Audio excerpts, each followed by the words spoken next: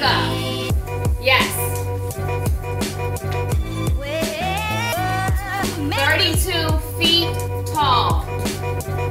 We had to go back into the chart, underline it for your text evidence. It says orca, and this says male, and we are asking for the male orca type. Okay, so when we infer, we're drawing conclusions. So when we look at this answer, hunt prey and survive. I go back into the question. Hearing is a sense, right? Eyesight is a sense, right? So that's how I know that my answer is correct. When it comes to you inferring, you have to dig a little deeper when you're looking for the answer. A lot of you chose echolocation, but guess what?